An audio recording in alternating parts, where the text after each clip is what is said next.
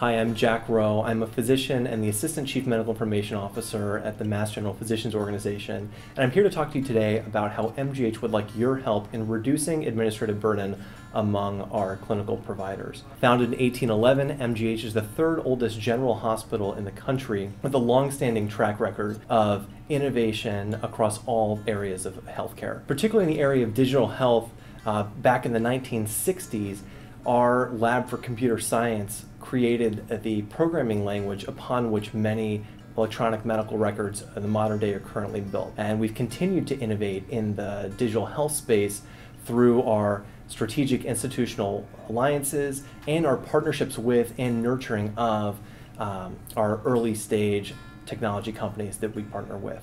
We are an anchor hospital of the Harvard Medical School, and we're a co founding institution of Partners Healthcare. And here you'll have the opportunity to work with mentors to um, develop and iterate on your ideas in live clinical environments at one of the leading provider networks in the world. The particular challenge that we want to talk with you about today is reducing administrative burden for our clinical providers.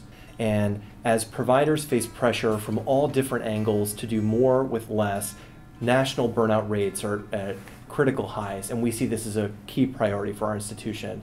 And we think of not just the traditional triple aim of um, improving care quality, improving population health outcomes, and reducing costs, but now really the quadruple aim of adding provider burnout and work life as a key priority in how we think about all of our models of care. And we are particularly seeking companies who want to address physician burnout through reducing administrative burden and improving clinical efficiency. We have the interest to identify, develop, and rapidly scale solutions in this priority area and a proven track record of taking successful solutions to scale. Come work with us and address this compelling, immediate, and critical national pain point for clinicians. You're going to have lots of fun and we would love to have you.